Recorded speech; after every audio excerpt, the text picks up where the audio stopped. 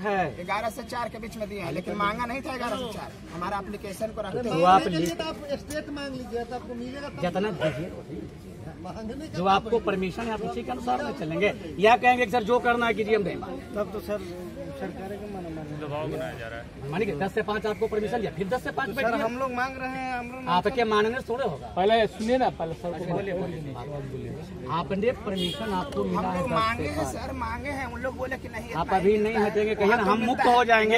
तो सब वायलेट करता है दो सौ लगता है दो सौ। हम एक हज़ार का मांगते हैं दो सौ को मिलता है। आप पचास को मिलता है। बोलते हैं कि ले जाओ ना ये लिखा हुआ ऐसे है।